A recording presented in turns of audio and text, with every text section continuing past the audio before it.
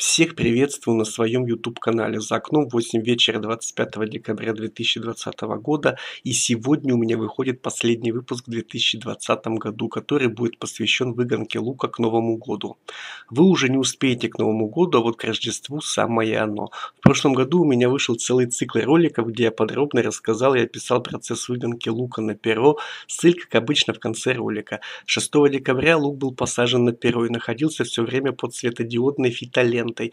10 пошли первые всходы, 12 перья были уже хорошо развиты, 22 достигли 35 сантиметров, то есть уже можно срезать и готовить вкусные блюда.